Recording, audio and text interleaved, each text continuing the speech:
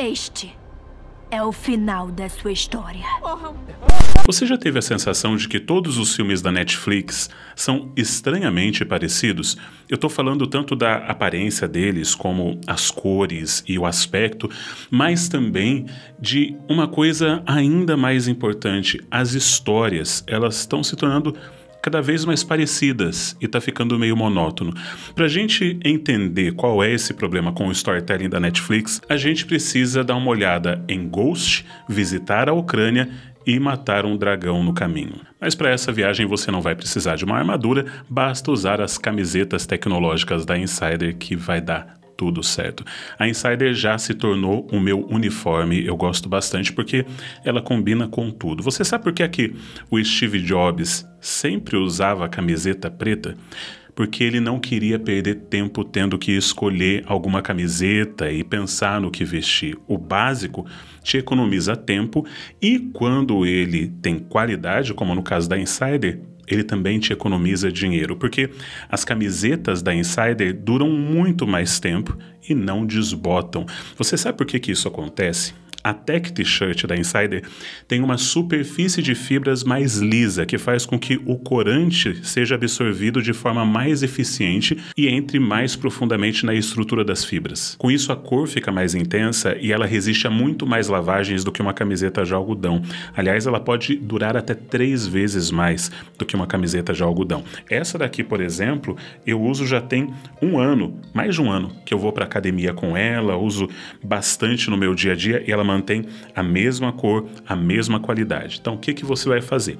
Você vai entrar no site da Insider que está na descrição ou no comentário fixado ou escaneando o QR Code aqui em cima e vai usar o meu cupom Jurandir12 para ganhar 12% de desconto na sua compra. Aproveita. Agora, dá uma olhada nesses filmes. Ghost, A Lagoa Azul, De Repente 30, De Volta à Lagoa Azul e Família Buscapé. Esses foram, durante os 50 anos de existência da Sessão da Tarde, os filmes mais reprisados da Globo. Ghost foi passado 25 vezes na Sessão da Tarde e Lagoa Azul 22 vezes. E durante décadas, o consumo de cinema era centralizado naquilo que passava na sessão da tarde, na tela quente, nos filmes que estavam em cartaz no cinema, que era bem limitada a quantidade, ou no que estava em destaque nas videolocadoras, que normalmente eram também os mesmos filmes que passavam na TV ou iriam passar na TV quando eles fossem liberados para a TV aberta. E assistir essas histórias era um evento coletivo todos falavam sobre os mesmos filmes, todos antecipavam os mesmos lançamentos, todos compartilhavam da mesma experiência cinematográfica. Se passava Titanic na tela quente, no dia seguinte, todo mundo estava falando de Titanic. Mas um dia, tudo isso mudou. Video rental chain Blockbuster has filed for Chapter 11 bankruptcy protection. A morte da Blockbuster, que era a maior rede de videolocadoras do mundo, aconteceu um ano depois da falência da minha própria videolocadora. E esse evento, ele foi um marco muito importante na forma como o mundo passaria a consumir filmes. Uma mudança que deu início à fragmentação da nossa experiência com relação ao cinema. Mas para você entender melhor isso, eu preciso que você veja isso daqui. Eu pesquisei quantos filmes e séries foram lançados nos Estados Unidos desde 1990.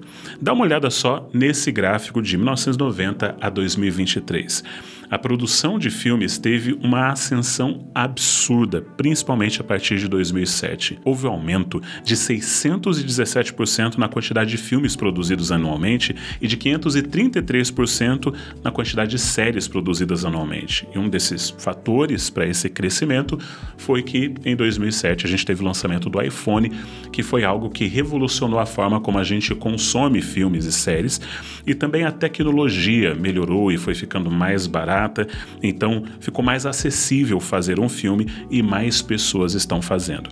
E quando a gente fala de filmes, existem dois elementos extremamente importantes, que é a produção e a distribuição.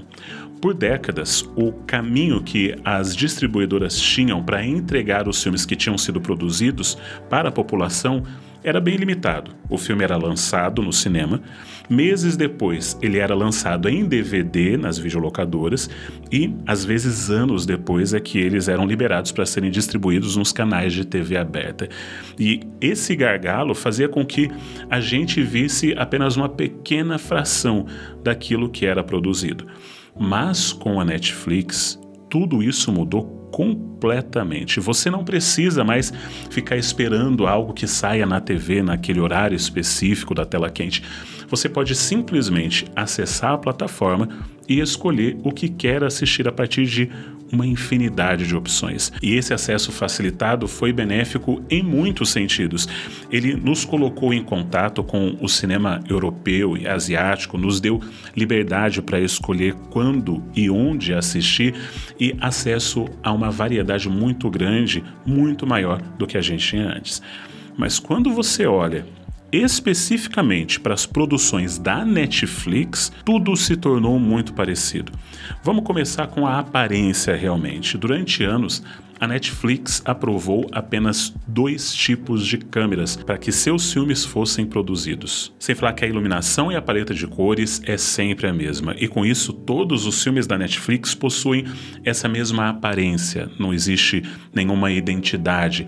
Pensa nos filmes do Tarantino. Ele odeia filmar digitalmente, ele ainda filma seus filmes de forma analógica, mas essa dedicação e esse tipo de cinematografia faz com que os seus filmes sejam muito bonitos e tenham identidade. E cada cineasta acaba abraçando um tipo de câmera ou de paleta de cores que mais lhe agrada ou que vai refletir melhor o conceito, a essência daquele projeto específico que eles estão trabalhando.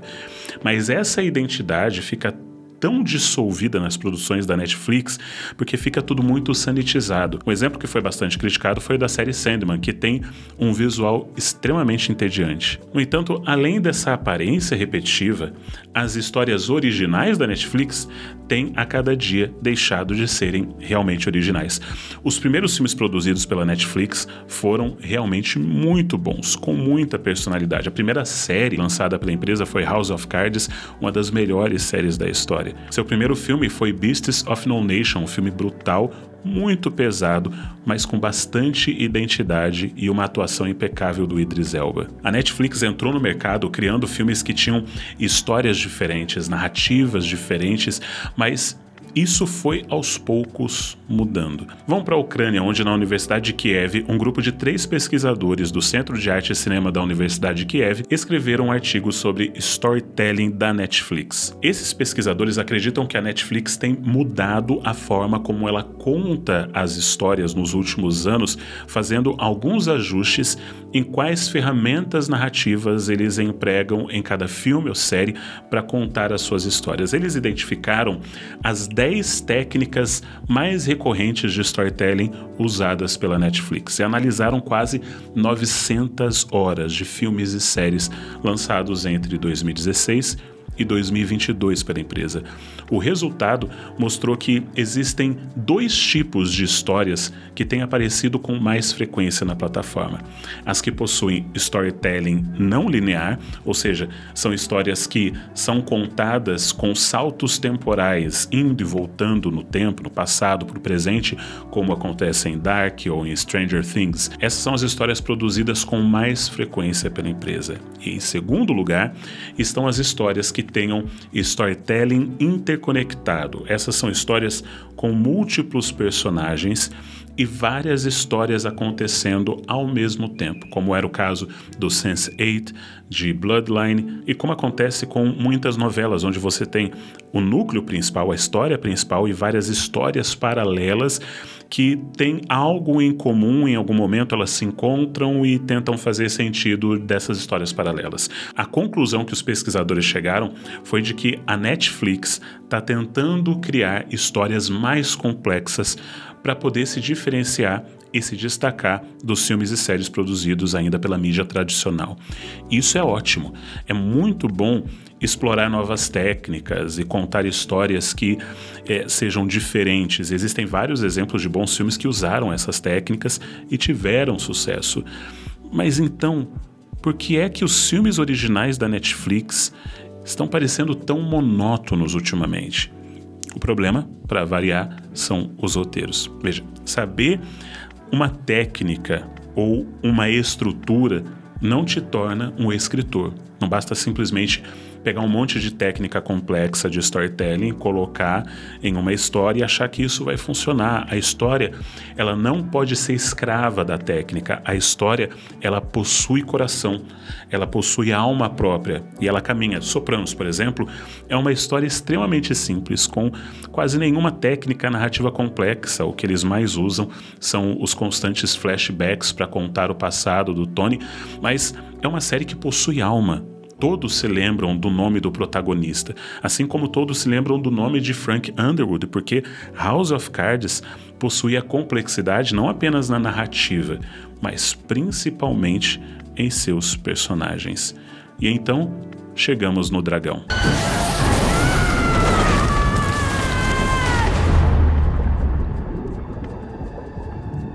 Dancel é um filme que, no papel, parecia uma excelente ideia. Uma princesa que se casa com o príncipe dos sonhos, cuja família perturbada faz sacrifícios de pobres donzelas a um dragão por conta de um acordo que fizeram com esse dragão. Agora a princesa tem que se virar para se salvar porque dessa vez o príncipe é um completo babaca. A história parece legal, ela subverte um gênero e tem público para ela. E eles gastaram uma tonelada de dinheiro em marketing promovendo essa história mas no final das contas, ela é simplesmente mal contada. A personagem principal é vazia e superficial, os diálogos são fracos, o enredo é previsível, o final é óbvio tudo foi feito de forma mecânica e sem nenhuma sutileza. E a Netflix tem feito isso com vários dos seus últimos filmes. Basta você responder essa pergunta: Você sabe o nome do protagonista de algum desses filmes? De qualquer um deles? A gente sabe o nome dos atores, a gente fala, ah, aquele filme com a Gal Gadot ou aquele outro com o Ryan Reynolds e com o The Rock. Mas e o nome do personagem? Você lembra dele? Você lembra de alguma fala desse filme? O que, que aconteceu com Hasta la Vista, Baby? Ou com I'm gonna make him an offer he can't refuse. Rosebud. You can't handle the truth! I'll have what she's having. As produções recentes da Netflix raramente passam da nota 7 no IMDb. A maioria passeia entre a nota 5 e 6, ou seja, são filmes que não são terríveis e odiáveis, com exceção de Os Seis Ridículos, que conseguiu a impressionante façanha de conseguir a nota 0 no Rotten Tomatoes. A maioria dessas histórias é simplesmente mediana, são boas ideias, mas executadas de forma muito superficial. É claro que existem exceções. Nada de novo no front é uma obra de arte. Bife é excelente, assim como Samurai de Olhos Azuis, e A Sociedade da Neve também é muito boa mas essas são exceções e os lançamentos desse ano eles não parecem nem um pouco promissores. Rebel Moon 2 dificilmente vai ser bom já que o primeiro foi um fracasso. Atlas com Jennifer Lopes parece mais uma ficção científica super genérica. E quando olho para o trailer de lançamento desse ano da Netflix, só três lançamentos que realmente me empolgam. Por enquanto, Hitman parece ser bem interessante, American Primeval parece interessante porque vai explorar o Velho Oeste e esse é um cenário que eu gosto bastante. E tem um Tira da Pesada, porque é o Ed Murphy e eu gosto dele. Se bem que a continuação de Um Príncipe em Nova York foi bem decepcionante. Boas histórias possuem mais do que estruturas complexas ou enredos inovadores. Elas possuem personagens marcantes, diálogos inteligentes e um enredo que te faz pensar. Quer ver um exemplo de uma história inteligente? Dá uma olhada nesse vídeo aqui. Um forte abraço e arrivederci.